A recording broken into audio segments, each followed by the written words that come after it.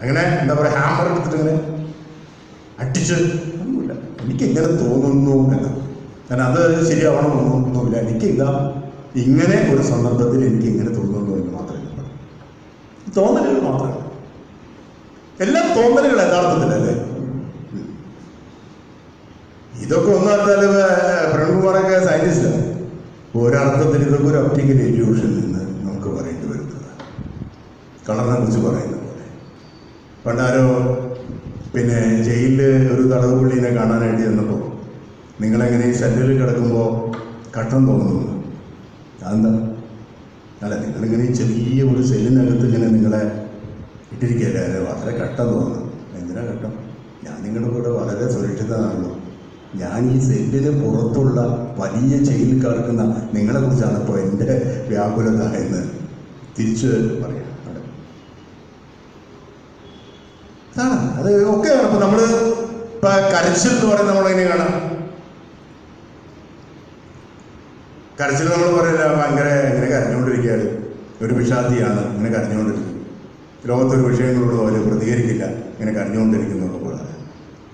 പക്ഷേ കരഞ്ഞുകൊണ്ടിരിക്കെ വിരൽ ചൂണ്ടി നീയാണ് എന്നെ കരയിപ്പിക്കുന്നത് എന്ന് പറയുന്നതോടുകൂടി കരച്ചിലും വലിയ രാഷ്ട്രീയമായിട്ട് മാറും. ഞാൻ കഫ്ക. ഇതാണ് മെറ്റമോർഫസിസ് മെറ്റമോർഫസിസിൽ ഗിഗർ സാംസയുടെ വ്യാകുലതകളും കരച്ചിലുകളും ഒക്കെ മുതലാളിത്തമുണ്ടാക്കിയ അന്യവൽക്കരണത്തിന്റെ ഫലമായിട്ടായിരുന്നു എന്ന് തിരിച്ചറിയുന്നതോടുകൂടിയാണ് മെറ്റമോർഫസിസിൽ വലിയ പൊളിറ്റിക്കൽ ആയിട്ട് കൃതിയായിട്ട് മാറുന്നത്. എല്ലാ എല്ലാ കൃതികളും അങ്ങനെയാണ് മാറുന്നത്. ഇതാണ് ഞാൻ പറയുന്നത്. കർക്കശമായ നിലപാടുണ്ടോ ഞാനിപ്പോ ആളുകൾ ചോദിക്കും എല്ലാ വിഷയങ്ങളോടും പ്രതികരിക്കണോ? അപ്പൊ നമ്മുടെ ഒരു വലിയ വിഷയമാണല്ലോ.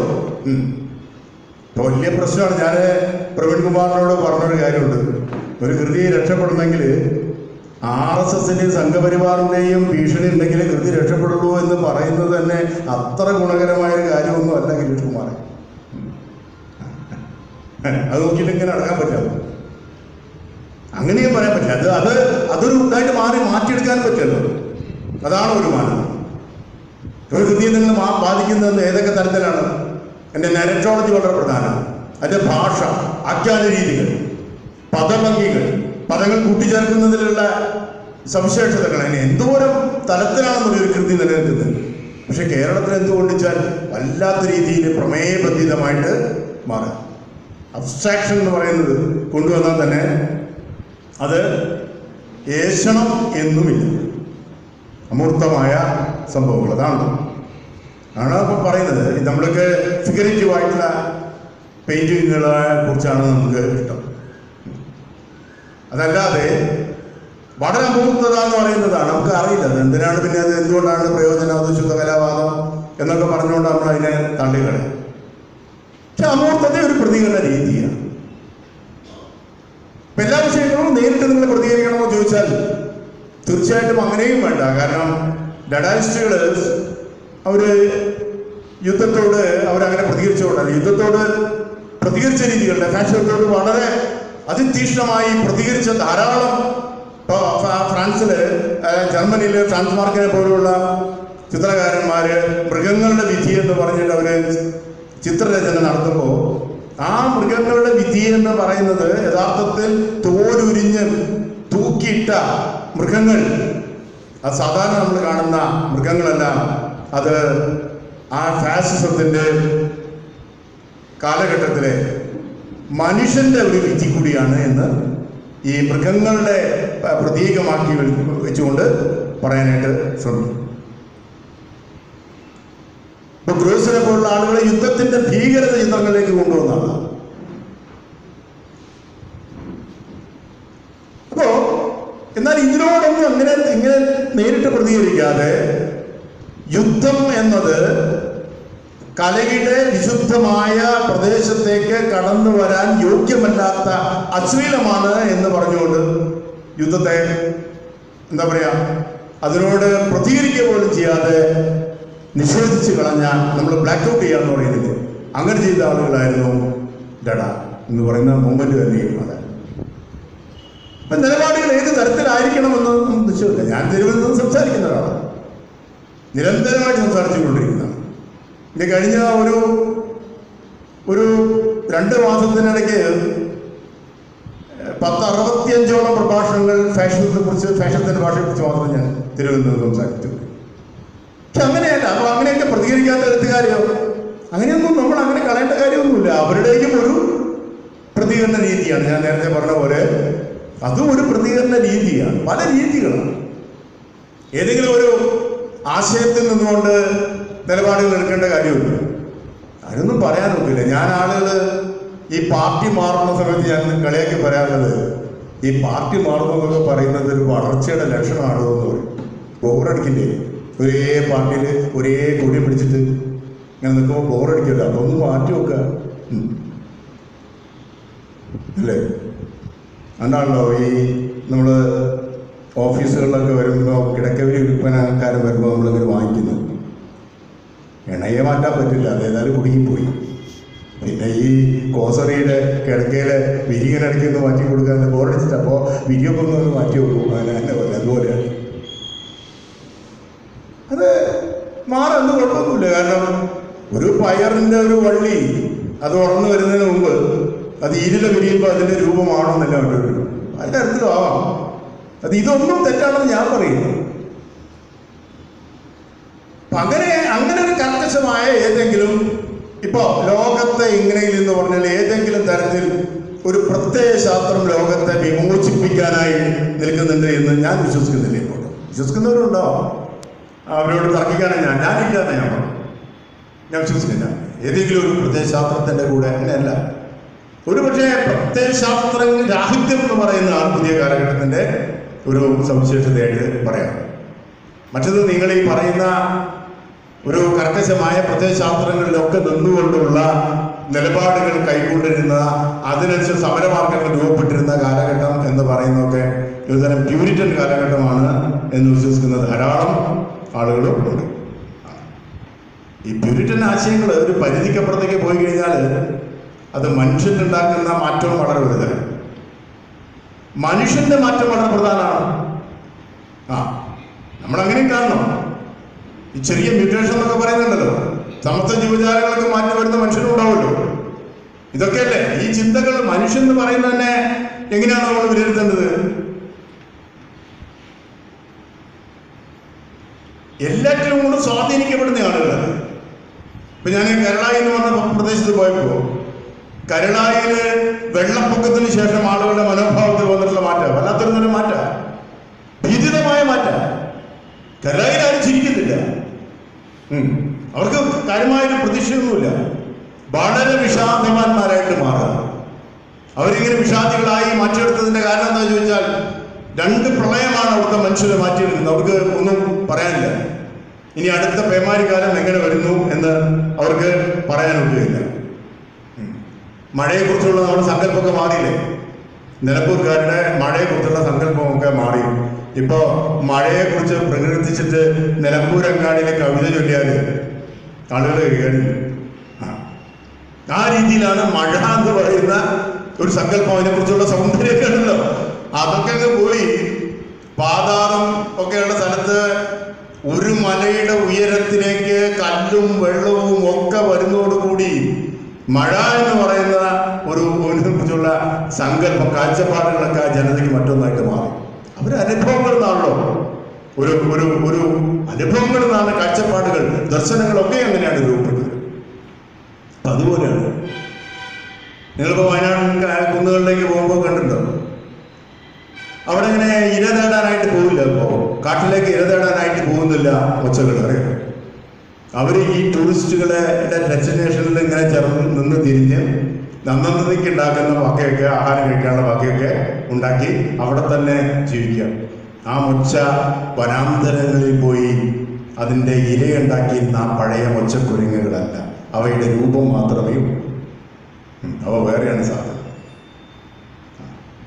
അതിനാണ് മൃഗശാലയിൽ വളർത്തുന്ന മൃഗവും. മൃഗശാലയിൽ വളർത്തുന്ന മൃഗം അതിന്റെ സ്വാഭാവികമായി വനത്തെക്കുറിച്ചുള്ള വേട്ടകളെക്കുറിച്ചുള്ള ഇതേ വേട്ടയാടി പിടിച്ചിരുന്ന ഒരു കാലഘട്ടത്തിന്റെ സ്വപ്നങ്ങൾ പോലും കൈമോശം വന്നു പോയതാണ്. അതാണ് ഭരതന്റെ ഒരു സിനിമയിൽ ഈ കൂട് തുറന്ന് വിട്ട സിംഹം ഈ കൂട്ടിലേക്ക് തന്നെ മടങ്ങി വരുന്ന ഒരു ദൃശ്യം.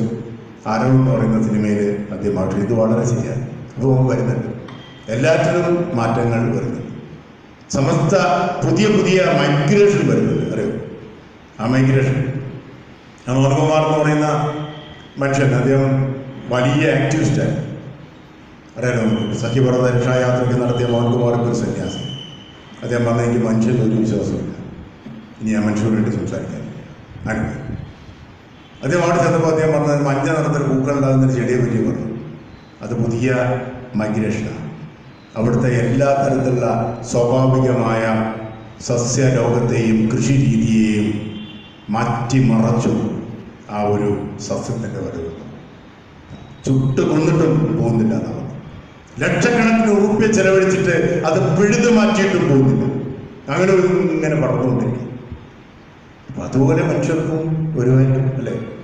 മനുഷ്യൻ എന്ന് പറയുന്നത് തന്നെ ഒരു വളരെ സങ്കീർണമായിട്ടുള്ള ഒരു ഒരു ഒരു പദല്ലേ?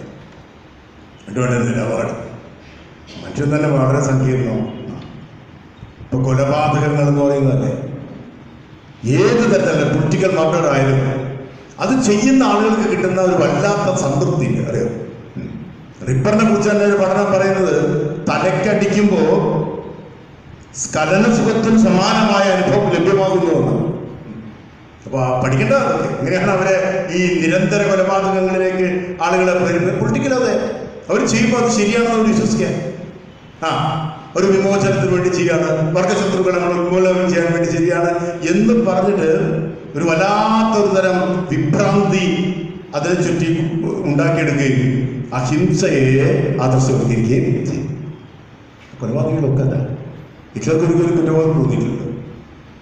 ഒരു ഒരു കുറ്റബോധം തോന്നിയില്ല സ്റ്റാലിന് തോന്നിയിട്ടില്ല. ഇതൊന്നും ചെയ്തൊന്നും ഒരു തെറ്റാണെന്ന് അവർ കരുതിയിട്ടില്ല. ഒരു കുറ്റബോധം ഒന്നും തോന്നിയില്ല ചെയ്തൊക്കെ ശരിയായിരുന്നു. അതൊക്കെ ഒരു നിലപാട് തന്നെ. അപ്പൊ എന്താണ് നിലപാട്? നിലപാട് വലിയ നിലപാട് പിടിച്ച സാധനം? ചിലപ്പോൾ നിലപാട് മാറ്റുന്നതാണ് നല്ലത് ഇങ്ങനെ നിലപാടിൽ ഉറച്ചു നിൽക്കുന്നു എന്ന് പറയുന്ന ആളെ കണ്ടപ്പോൾ മാറുന്നു ഞാനിങ്ങനെ എന്റെ കർക്കശമായിട്ട് ഇങ്ങനെ നിലപാടിൽ ഇങ്ങനെ നിൽക്കുകയാണെന്ന് പറഞ്ഞ എന്റെ കുഞ്ഞ് എങ്ങനെ? എന്നാ കുഞ്ഞ് കിട്ടോ ഞാൻ പഠിക്കില്ല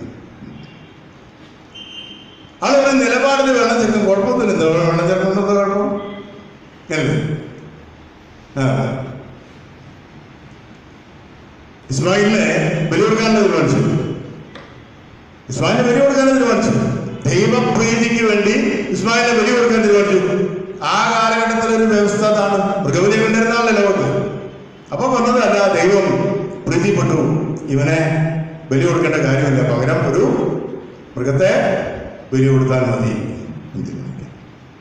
ഇതുതരം ഡൈല്യൂട്ട് ചെയ്യരുത് ഇതൊക്കെ ഭഗവതിയുടെ ക്ഷേത്രങ്ങളിൽ നേരിട്ട് ചോര കൊണ്ടായിരുന്നു തർപ്പണം നടത്തിയിരുന്നത് കേട്ടോ. ചോര കൊണ്ട് തർപ്പണം നടത്തിയിരുന്ന ആ. ആ ചോര കൊണ്ട് തർപ്പണം നടത്തിയിട്ട് പിന്നെ പ്രതീകാത്മകമായ ചോര മതി. എന്താണ്? മഞ്ഞൾപ്പൊടി ചുണ്ണാമ്പ് കൂടി ഉണ്ടാക്കുന്ന പ്രതീകാത്മകമായ ചോര മതി എന്ന് തീരുമാനിക്കുന്നത് ഒരു ആന്ത്രപ്പോളജിക്കലായി ഒരു ജനതയ്ക്ക് വരുന്ന ഒരു മാറ്റം അങ്ങനെ മാറ്റം ഉണ്ടാവണം. ഒക്കെ ഉണ്ടാവണം. എന്റെ ഞാൻ എന്റെ എന്താ പറയാ പ്രത്യയശാസ്ത്രത്തിൽ ഞാൻ ഉറച്ചു നിൽക്കുന്നു എന്ന് പറയുന്നത് ഇതിന് മാറുകൊണ്ടൊന്നും ഒരു കുഴപ്പവും ഇല്ല.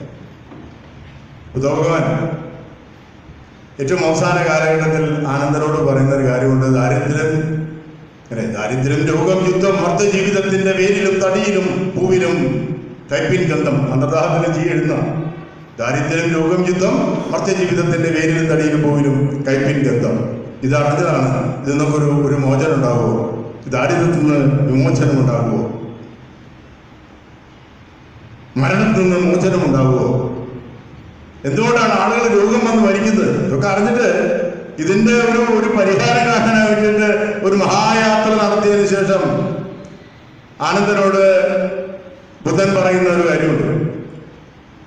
ഞാൻ പറയുന്നത് ഇതെല്ലാം ഒരു തരത്തിൽ അനിവാര്യതകളായിരുന്നു എന്ന് പത്തൊമ്പത് വർഷം ജീവിച്ചപ്പോഴാണ് അപ്പോഴാണ് ഇതൊക്കെ അനിവാര്യം ഇതൊക്കെ അങ്ങനെ തന്നെയാണ് സംഭവിക്കുക. കാരണം രോഗം വന്നിട്ട് വേണം മരിക്കാൻ അപ്പം മരണം എന്ന് പറയുന്നത് ഒരു അനിവാര്യമാണ്.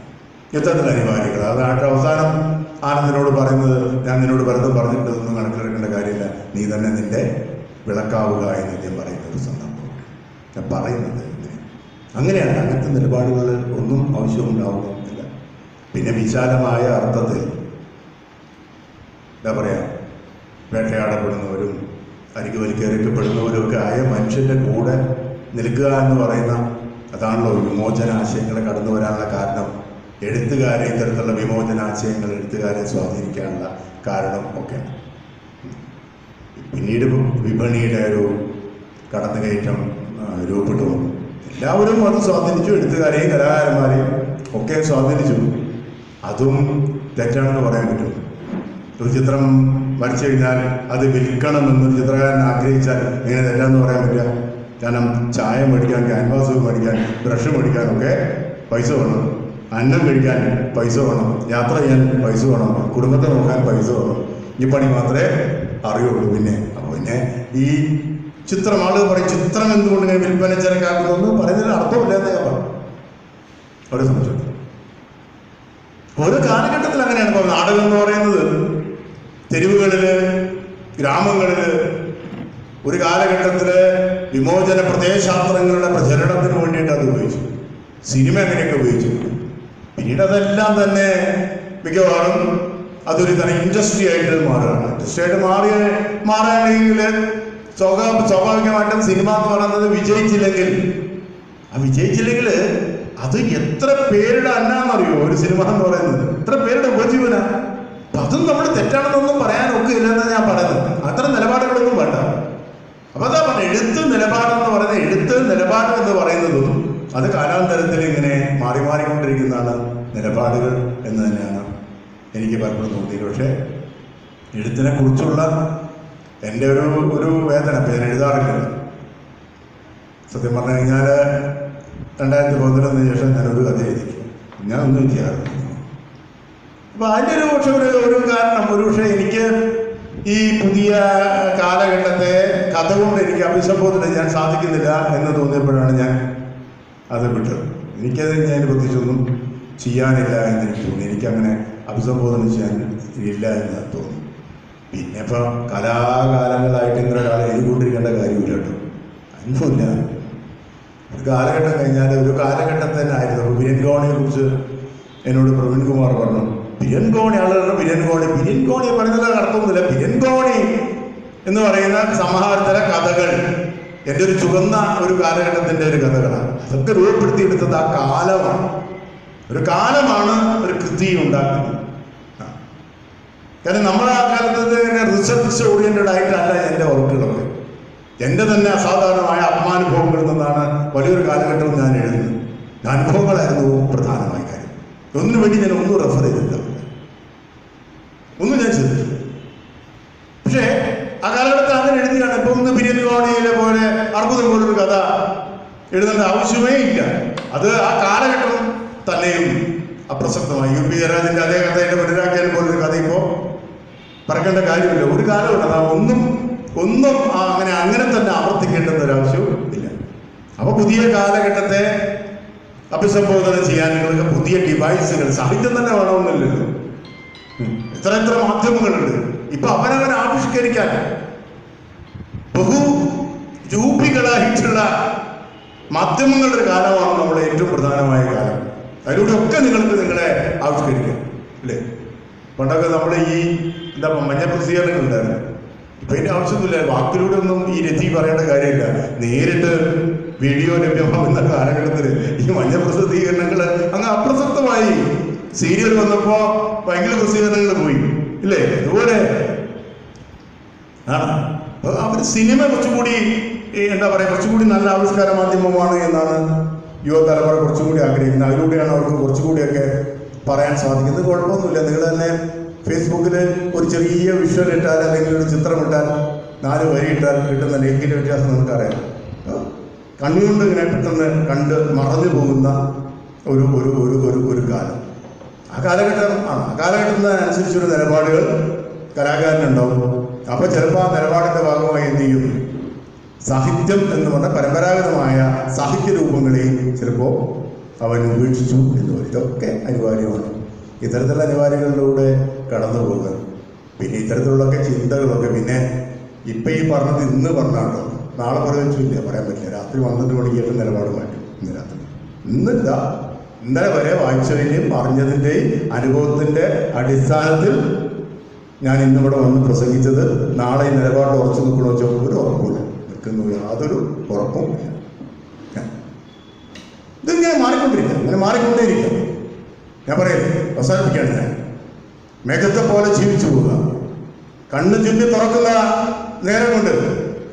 രൂപമാറ്റങ്ങളിലൂടെ നമ്മളെ വിസ്മയിപ്പിച്ചുകൊണ്ട് മേഘരൂപികളായി കടന്നു പോവുക ഭാവനാ ലോകത്തിങ്ങനെ വിരാജിക്കുക. ഞാൻ എപ്പോഴും ഇപ്പോഴും ഞാൻ സ്വപ്നങ്ങളുടെയും ഭാവനകളുടെയും ലോകത്ത് കഴിയുന്ന ഒരു അതാണ് കസാക്കിന്റെ ഇതിഹാസം വായിക്കുമ്പോൾ ഇപ്പോഴും ആ വലിയ ഭാവനയുടെ ലോകത്തിൽ ഇങ്ങനെ സഞ്ചരിച്ചു കൊണ്ടിരിക്കുക എന്തായാലും ഇനി കുഞ്ഞാലി തിരകൾ മലയാള ഭാഷയ്ക്ക് ഒരു പുതിയ അനുഭവങ്ങൾ പ്രദാനം ചെയ്യട്ടെ എന്ന് പ്രാർത്ഥന പറഞ്ഞുകൊണ്ട് രാജീവിനെ പോലുള്ള പുതിയ നോവലിസ്റ്റുകൾക്ക് ഗിരീഷിനെ പോലുള്ള പുതിയ എഴുത്തുകാർക്കൊക്കെ എല്ലാവിധത്തിലുള്ള ഭാവങ്ങളും നേർന്നുകൊണ്ട് ഇവിടെ വന്ന് നിങ്ങളോട് സംസാരിക്കാൻ അവസരം ഉണ്ടായതിന് സദസ്സിനോടും എന്റെ ആത്മാ സുഹൃത്തായിട്ടുള്ള പഞ്ചാബിനോടും എല്ലാവരോടും എന്താ മുസുകൂട്ടിയിരിക്കുന്നുണ്ട് എന്താ പറയുക ഒരു മഹാനോവൽ. അത് ഒരാൾ എഴുതി തന്നെയാണോ എന്നൊക്കെ അത് അത്ഭുതപ്പെടുന്ന ഒരു കാലഘട്ടത്തിൽ അത് പ്രൂവ് ചെയ്യുന്നത് അദ്ദേഹം അതിനെ പരിഭാഷ അങ്ങനെ തന്നെ നിർവഹിച്ചുകൊണ്ടാണ്. അത്യുജ്ജലമായ പരിഭാഷ നിർവഹിച്ചിട്ടില്ല ഇങ്ങനെയൊക്കെയുള്ള ആളുകളെ വല്ലപ്പോഴും ഒക്കെ ഒന്ന് കണ്ട് എന്താ പറയുക കുറച്ചൊന്ന് റീചാർജ് ചെയ്ത് പോകാൻ ഇത്തരത്തിലുള്ള അവസരങ്ങൾ എനിക്കും പ്രയോജനപ്രദമാണ്. പിന്നെ എല്ലാ സന്ദേഹങ്ങളും മുന്നോട്ട് വെച്ചുകൊണ്ട് നിർത്തുന്നു നന്ദി നമസ്കാരം